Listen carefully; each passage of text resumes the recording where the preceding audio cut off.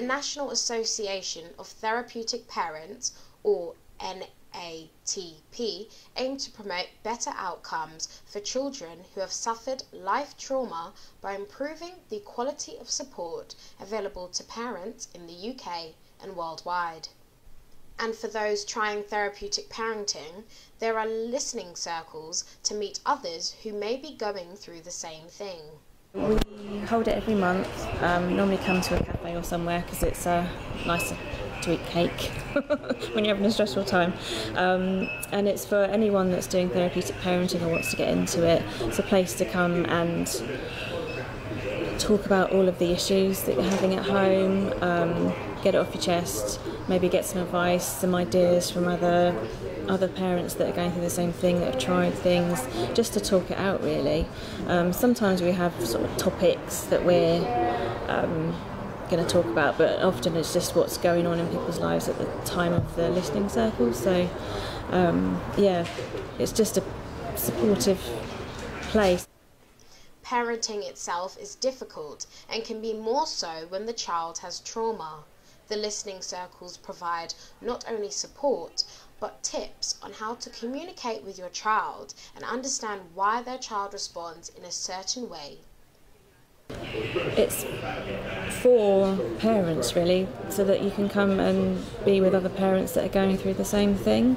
Um, makes you feel a bit more normal because you don't tend to fit with the normal mainstream parents. Um, our children behave very differently to um, mainstream children, um, so it's nice to be able to meet other parents that have the same problems.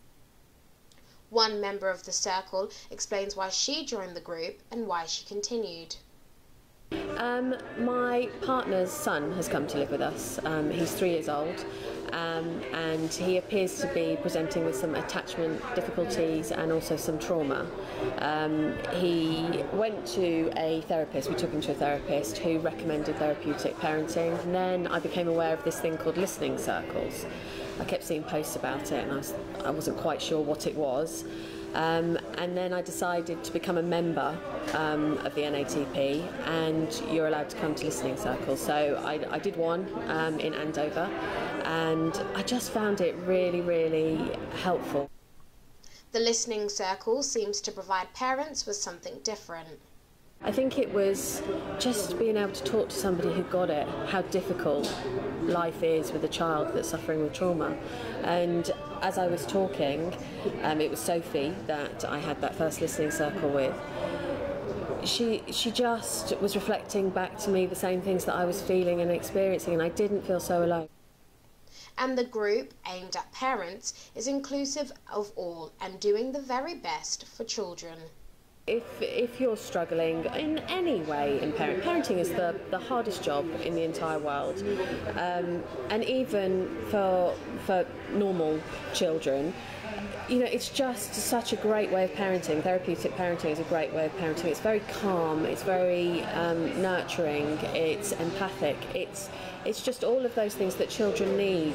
It's about boundaries, it's about love, it's about nurture, it's about care, and it's about giving children what they really need. So any parent, I think, would benefit from therapeutic parenting, but the listening circles are essential for someone who's going through something really difficult within their parenting realms. And it's not just for biological parents, it's for step parents, which is what I am.